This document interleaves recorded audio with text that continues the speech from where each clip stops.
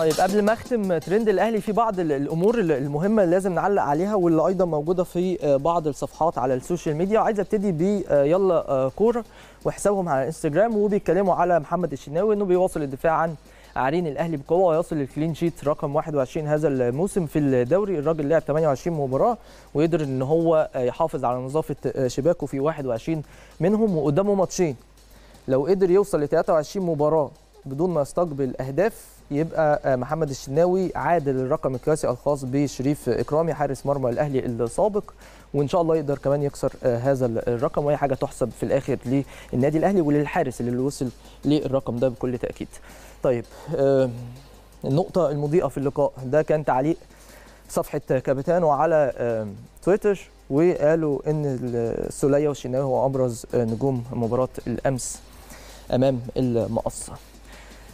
طيب سوبر كورة بتتكلم إن بعد حسم الدوري فايلر يدفع بالناشئين في مباريات الأهلي المتبقية وده ممكن يكون توقع من خلالهم إن خلاص الفريق قدر إن هو يحسم بطولة الدوري فبالتالي ممكن تكون دي فرصة مستر فايلر إن هو يدفع بعض الناشئين. لكن في نفس الوقت هم ما فكروش إن ممكن يكون فايلر بيفكر في بطولة دوري أبطال أفريقيا الناشئين دول مش مقيدين في القائمه ال- الأفريقية فبالتالي مش هيكون في حاجة آه، قوية ليهم في البطولة الأفريقية بالطبيعي يعني.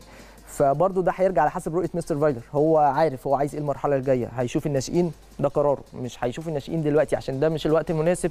برضه ده قرار المدير الفني مستر رينيه آه، فايلر المدير الفني المميز طبعا.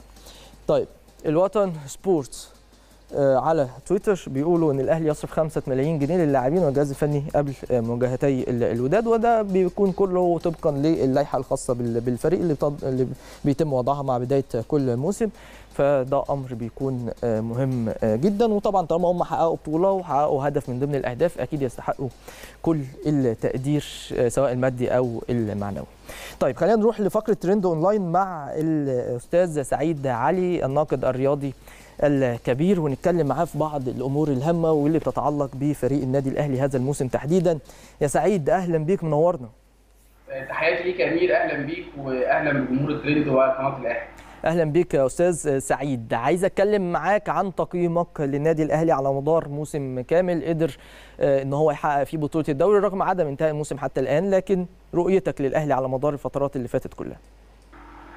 في الحقيقة هو كان موسم آه، صعب جدا ونقدر نقسمه على مرحلتين. جزء كان النادي الأهلي يسير فيه آه، بشكل قوي جدا جدا وكان بيعبر عن وحشية النادي الأهلي في تحقيق أرقام قياسية وخرافية وأداء مثالي. الجزء الثاني بعد كورونا ربما الأداء مر ببعض العثرات وتراجع بعض الشيء في وجود إصابات وغيابات وبعض الأزمات اللي حصلت أثرت بشكل كبير على الشكل والنتائج بعض الشيء لكنها لم تؤثر في النهاية على الهدف والغاية وهو تحقيق بطولة الدوري. وأنا طول الوقت كنت بشوف إن في مبررات لهذا التراجع خاصة إن أنا شفت كل أندية العالم باستثناء قلة قليلة جدا آه، هي اللي آه، لم تتأثر. يعني باستثناء بايرن ميونخ وريال مدريد بالتحديد هما الناديان الوحيدان اللي ما تاثراش أو ما تعرضوش لأي أزمة بعد كورونا أو كانوا مستعدين بشكل افضل. لكن في العموم نقدر نقول إن النادي الأهلي استحق التتويج بعد تعب كبير جدا وعايز أقول نقطة مهمة جدا لبعض الناس اللي بتقلل من إنجاز الدوري العام وتتويج بطولة الدوري العام، بطولة الدوري العام هي المؤشر والمعبر الحقيقي عن قوة أي منافس في أي بلد. في العالم. تمام ودايما في مقولة باخدها وعنوان بحطه قالوا ليونيل ميسي في من سنتين أو ثلاث مواسم أن بطولة الليجا الإسبانية واحدة من أصعب البطولات اللي بيتعب فيها برشلونة واللي بيتعب فيها أي نادي عشان يحققها. لكن جمهور برشلونة يظل يراها بطولة سهلة لأنها بتتحقق بشكل دايم في السنين الأخيرة وقال إن جمهور برشلونة هيحس بقيمة البطولة بالتحديد لما برشلونة يخسرها أو يفتقدها وده اللي حصل الموسم. ده فالنادي الأهلي حقق البطولة يا أمير لأنه كان النادي الأقوى وليس لأن المنافسين آه، بيأدوا بشكل ضعيف أو. عندهم آه، تذبذب لأن الفارق بين الأهلي والخصوم 20 نقطة وأكثر وكذلك فارق 45 هدف فده بيعبر عن قوة جبارة ومسافة بعيدة عن هذا القسم حتى لو أنت شايفه ضعيف فبالنهاية الأهلي بس علشان أنت ضعيف النادي الأهلي حقق المكسب طيب آه، يا سعيد عايز أسألك آه، بالتحديد عن الفارق الكبير في عدد النقاط النادي الأهلي. ما هو ممكن الأهلي يفوز ببطولة لكن تبقى فيه منافسة قوية. أسباب إن المنافسة القوية ما كانتش موجودة هذا الموسم من وجهة نظرك إيه يعني؟ أسباب المنافسة القوية أنا عايز أقول إن النادي الأهلي لعب دوري لوحده. يعني النادي الأهلي كان بيلعب بشكل منفصل وكان هو المعيار والمقياس للمنافسة في بطولة الدوري. ما كانش بينافس حد ثاني لكن هل النادي الأهلي غياب المنافس القوي أثر على طموحه وأثر على رغبته؟ لا النادي الأهلي طوال الوقت بيلعب بنفس الطموح بيلعب بنفس الهدف والنتائج الكبيرة دي امير ليها أسباب يعني أنت تحقق الأرقام دي ده مجال بشكل عبثي بالفارق ده مم. آه لا جه لأن أنت اولا كإدارة وكتخطيط قدرت تحط اللاعب رقم اثنين ورقم ثلاثة في مسافة قريبة من اللاعب الأساسي علشان كده لما حصل عندك بعض الإصابات وبعض الغيابات وقت كبير قدرت إن أنت تحقق تحقق نفس النتائج وتحقق نفس المكاسب. فبالتالي ده أمر مخطط ليه وشغل بشكل استراتيجي لازم أنت تبقى واخد بالك منه لأن إهماله هي... إهماله في تجني على جهد وشغل كتير تم بشكل حقيقي خلال الفترات الماضية. طيب. كمان أنا بشوف إن الخصوم استسلموا أمام قوة الأهلي الجبارة بقولها وبعيدها وبكررها. الخصوم استسلموا مبكرا شفنا ناس كتير جدا بتشيد بمدربينها رغم الخسائر الكتير لأن بالأساس أدركوا أن منافسه النادي الأهلي هو أمر جنوني أو عبثي مفيش منه فايدة فبالتالي استسلام فده مؤشر يعبر أيضا عن قوة النادي الأهلي ويحسب به. طيب آه عايز أتكلم معاك عن المرحلة القادمة وكيف تتوقع استراتيجية مستر رينيه فايلر خلال الفترة اللي جاية وما تبقى من مباريات في بطولة الدوري وخصوصا إن أنت هيكون عندك كمان التحدي الأفريقي خلال الشهر المقبل.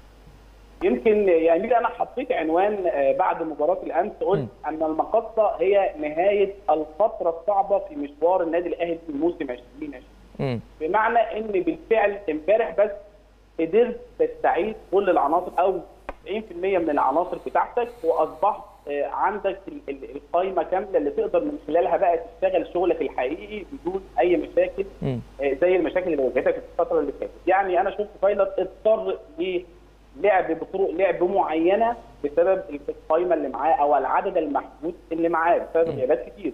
الفترة اللي جاية أصبح عنده وفرة كبيرة جدا استعاد كامل قوته أصبح موجود في الشحات والكهرباء أعتقد إن الفترة اللي جاية هيبدأ يفكر في مباراة الوداد بشكل محدد. هيدي راحة شوية لبعض الناس. أشوف إن جونيور اجاي يستحق إنه يحصل على راحة أو يعني محتاج لراحه مهمه في الفترة دي بعض العناصر برضه محتاجة لراحه أنا شفت مشاكل امبارح مثلا يا امير في الخروج بالكرة من تحت. ده كان بسبب مثلا إن أنت ما فيش اثنين قلب دفاع يا امير في الفترة الأخيرة لعبوا مع بعض. ثابتين آه ما فيش اثنين ثابتين في المكان ده. اثنين ثابتين ضيف ليهم كمان لاعب الارتكاز حمدي فتحي راجع من فترة وعمرو صبري أيضا راجع من الإصابة والأول مرة بيلعبوا مع بعض الفترة الاولى اللاعب اللي هيبني مع خط الدفاع ما فيش أيضا حالة التناغم وحالة الترابط اللي موجودة اللي المفترض تكون موجودة. فأعتقد إن كل المشاكل دي أمام فايلر وأمام النادي الأهلي في الدورات المقبلة فرصة لأنه يضع ظروف الوداد، الفترة المقبلة مش هتكون مجرد تدريب ولا هتكون آآ آآ تضييع وقت أو. تحصيل حاصل لا. ده مرحلة جد جدا جدا جدا. هيحصل تدوير بشكل ما لكن في النهاية هتسعى إلى الوصول إلى التشكيلة والطريقة المثالية لمواجهة الوداد البيضاوي. المطلوب من فايلر خلال الفترة اللي جاية إيه يا سعيد؟ يعني إزاي يقدر يتعامل مع اللاعبين؟ طبعا في الجانب الفني ده طبيعي لكن فيما يتعلق بالجوانب الأخرى الجوانب النفسية الذهنية عشان تقدر تأهل اللاعبين للدور نصف النهائي ومباراتي الوداد بإذن الله. أولا لاعبي النادي الأهلي لازم ياخدوا حقهم ولازم يحسوا إنهم قدموا جهد كبير جدا إن شفت اصابات من قطاع مش قليل. آه. دي بتمثل ضغط إضافي على اللاعبين. لازم اللاعبين يفهموا كويس جدا أو لازم يوصل لهم إن إحنا مقدرين الجهد الكبير. فكرة إن إن أنت تلعب كل ثلاث أيام مباراة فكرة إن أنت تعمل الفارق الكبير في النقاط وفي الأهداف مع كل خصومك فكرة إن أنت تكسب بعد الدقيقه 90 في أكثر من مباراة فده جهد كبير جدا جدا. اولا لازم أصلا اللاعبين اللي عملتوه السهل اللي عملتوه حاجة عظيمة جدا جدا وتضاف اليكم ثانيا البدء التحضير للفترة المقبلة أنا بشوف إن مستر ريني فايلر مطالب بتجهيز العناصر اللي كانت غايبة الفترة اللي فاتت بدنيا، إحنا محتاجين نرتقي أو نرتفع بالمعدلات البدنية لأكبر عدد من اللاعبين خاصة اللي كانوا غايبين الفترة اللي فاتت كهرباء. وحسين الشحات وحمدي فتحي بالتحديد اللي أنا بشوفه بإذن الله باذن الله علامة خاصة في شكل وأداء النادي الأهلي في دوري أبطال.